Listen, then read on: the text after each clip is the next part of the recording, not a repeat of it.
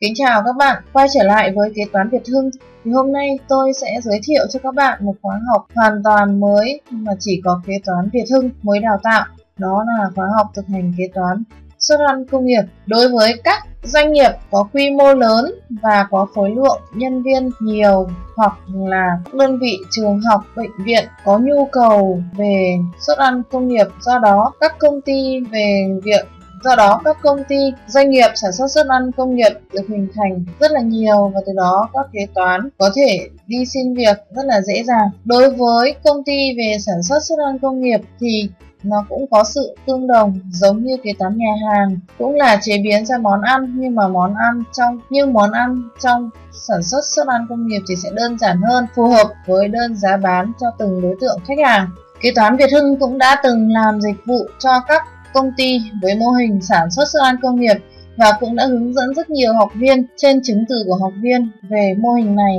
Do đó, giáo viên cũng như là trung tâm đã rút ra được rất nhiều kinh nghiệm cho việc quyết toán cũng như là cân đối lên báo cáo tài chính đối với loại hình doanh nghiệp về sản xuất xuất ăn. Như vậy khi các bạn tham gia khóa học tại kế toán Việt Hưng thì các bạn sẽ được học với giáo viên đang đi làm thực tế tại các công ty về sản xuất xuất ăn, công nghiệp. Từ đó, các bạn sẽ được học hỏi các kinh nghiệm từ giáo viên, cũng như sau này sẽ nhận được sự hỗ trợ trong suốt quá trình làm việc từ giáo viên của trung tâm với kinh nghiệm làm việc lâu năm trong mô hình sản xuất xuất ăn thì vấn đề khi đi quyết toán thuế, các cơ quan thuế đòi hỏi chúng ta cần phải giải trình, chủ yếu vẫn là các định mức cho từng suất ăn. Suất ăn chúng ta có rất nhiều loại giá khác nhau và mỗi loại giá thì sẽ có một tên thành phẩm khác nhau cũng như là các cái nguyên vật liệu để chế biến ra từng thành phẩm là khác nhau.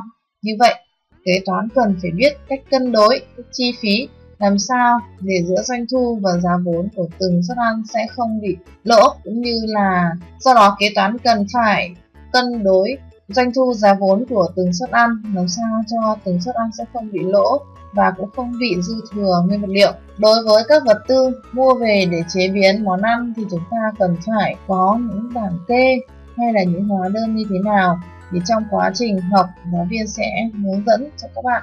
Đối với nội dung của khóa học thực hành kế toán sản xuất xuất ăn công nghiệp thì chúng ta sẽ được học tổng hợp tất cả công việc của một kế toán từ việc xử lý số dư đầu kỳ xử lý số phát sinh trong kỳ bao gồm ví dụ như là định mức hoặc hạch toán các hóa đơn mua vật tư có hóa đơn hoặc không có hóa đơn, mua công cụ, mua tài sản để hạch toán các chi phí chung liên quan đến quá trình sản xuất, ví dụ như là ga hoặc chi phí tiền điện, tiền nước và các và các chi phí chung khác, rồi hướng dẫn cho các bạn về cách lập đầy đủ về các hồ sơ lương, nhân công, hạch toán các hóa đơn bán thành phẩm chính là xuất các suất ăn ra cho từng khách hàng.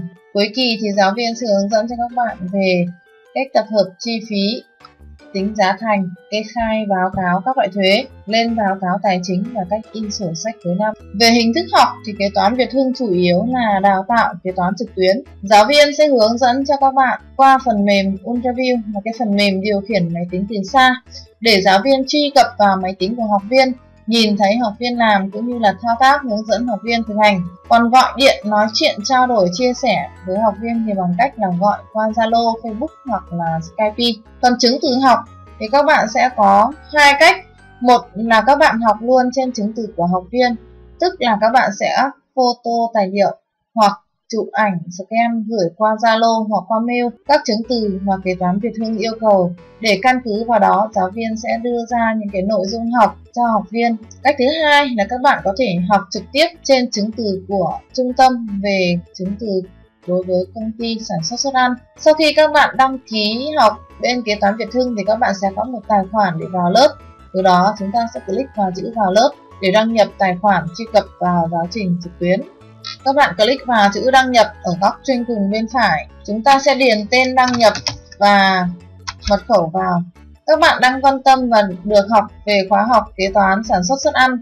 Do đó, chúng ta sẽ click vào khóa học của tôi chọn xuất ăn công nghiệp 2018. Đây là giao diện của giáo trình kế toán sản xuất xuất ăn công nghiệp của kế toán Việt Hưng. Ở đây sẽ có tất cả các buổi học liên quan từ xử lý số dư đầu kỳ sẽ nằm ở trong buổi 2 và hạch toán các hóa đơn trong kỳ bắt đầu từ buổi 3 trở đi. Chúng ta học đến buổi nào thì chúng ta có thể click vào tài liệu kế toán của buổi đó và xem hóa đơn chứng từ. Giáo viên sẽ hướng dẫn cho các bạn hạch toán lên trên phần mềm kế toán. Phần mềm hỏi bạn có muốn trở lại trang vừa thoát không? Chúng ta có thể chọn không. Và đây là các chứng từ liên quan đến quá trình để chúng ta hạch toán lên phần mềm để cân đối. Các bạn có thể click vào các cái trình đơn này sẽ có các hóa đơn chứng từ. Một buổi có rất nhiều hóa đơn chứng từ, có thể các bạn sẽ không học hết được trong một buổi đâu. Chúng ta có thể một buổi trên giáo trình chúng ta có thể học phải đến 2 3 buổi thực hành. Còn đối với phần mềm kế toán thì trung tâm chủ yếu hướng dẫn học viên trên phần mềm kế toán visa. Phần mềm thì trung tâm sẽ cài đặt cho học viên. Khi các bạn học xong một buổi học rồi thì chúng ta có thể chuyển sang buổi khác bằng cách là chuyển tới buổi tiếp theo, hoặc chúng ta có thể kéo thanh cuốn lên trên và chúng ta có thể click vào ăn công nghiệp để chúng ta mở ra các buổi tiếp theo. Ở bên ngoài các buổi thì có những cái mô tả để sau này cho các bạn tìm kiếm chứng từ được dễ dàng. Ví dụ như là khi chúng ta hạch toán hết tất cả các buổi rồi, chúng ta đang phát hiện sai một cái hóa đơn nào đó. Ví dụ như là sai hóa đơn 3728 thì chúng ta có thể nhấn Ctrl F chúng ta tìm 3728 để chúng ta mở cái hóa đơn ở trong cái buổi đấy ra. Xem là chúng ta hạch toán số lượng đơn giá thành tiền đã giống như ở trên hóa đơn hay chưa. Nếu chưa thì chúng ta sửa lại. Như vậy là cái mục đích của việc viết mô tả bên ngoài để giúp cho các bạn tìm kiếm chứng từ được dễ hơn, cũng như là các bạn viết sơ qua được các cái nghiệp vụ bên trong của từng buổi là như thế nào. Ví dụ như là hạch toán hóa đơn mua vào này rồi có phiếu chi này, lệnh sản xuất phiếu xuất kho, phiếu nhập kho, chứng từ bán hàng. Bảng kê kèm theo hóa đơn bán hàng. Giấy báo nợ giấy báo có, bảng trống không, bảng lương, bảng tiền phân bổ, bảng sổ, tài sản cố định. Đây là những cái nội dung mà bên trong cái buổi năm mà các bạn được học.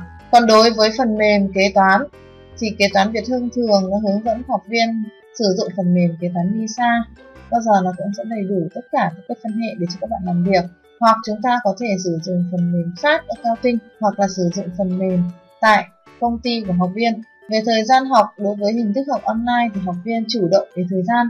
Các bạn có thể học vào buổi sáng, buổi chiều hoặc là buổi tối. Thay đổi lịch thì các bạn chỉ cần báo với lại giáo viên để giáo viên sắp xếp lịch hướng dẫn cho các bạn. Như vậy là tôi vừa giới thiệu cho các bạn về nội dung của khóa học kế toán sản xuất xuất ăn công nghiệp. Tôi hy vọng sẽ được hợp tác cùng với các bạn trong thời gian sớm nhất và trung tâm sẽ cam kết là hướng dẫn cho các bạn đến khi các bạn học, hiểu và làm được và hỗ trợ các bạn sau này trong suốt quá trình làm việc. Chúc các bạn thành công!